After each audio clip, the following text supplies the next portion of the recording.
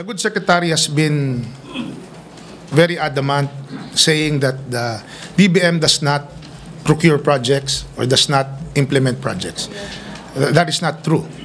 Uh, there is a small, really small office attached to the DBM, which is called the Procurement Service DBM.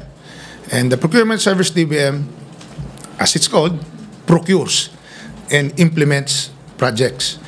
So upon questioning yesterday for the director of that particular department, of that particular office, Director uh, Bingel Gutierrez, which was, who was appointed by Secretary Diokno, I asked her the mandate of the office, and that she told me that the mandate was for the procurement of commonly used goods and supplies for the national government to the tune of 7 billion pesos every year.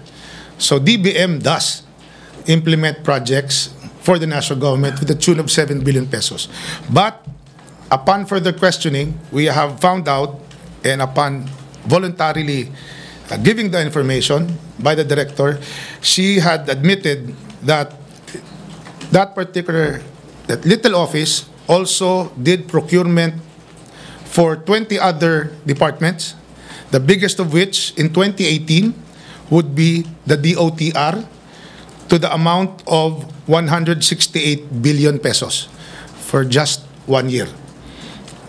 And the budget of the DOTR for capital outlay last year was only 38 billion. So how could you now have done that? You procure for one year worth 168 billion for just one department when that department's budget is only 38 billion. A huge amount of money being procured by a small office with no expertise uh, on this matter. Uh, the ones being procured here, let me advance the information, would be the subway project, the South Rail project, big airport projects, uh, all the big, big, big ticket items. Um, these budgets were put in the DOTR.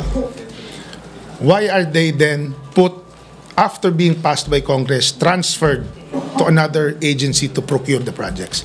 Would not DOTR have the expertise to have these projects procured? They would have the engineers, they would have the know-how.